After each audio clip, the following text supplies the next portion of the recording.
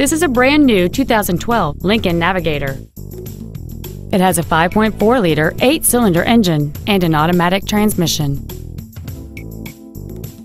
This vehicle won't last long at this price. Call and arrange a test drive now.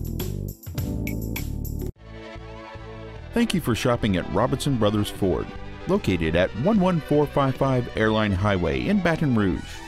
Please contact our business development office at 225 293 8900 for special wholesale pricing. Give us an opportunity to earn your business.